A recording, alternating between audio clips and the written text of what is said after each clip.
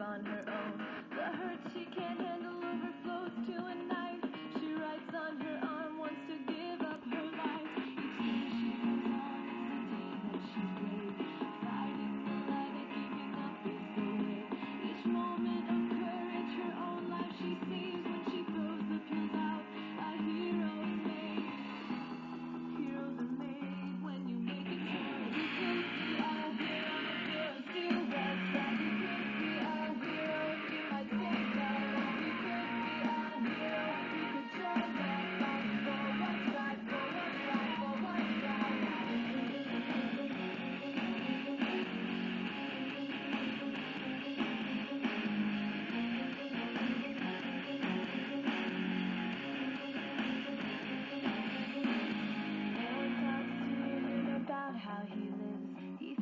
But the choices he makes are just his.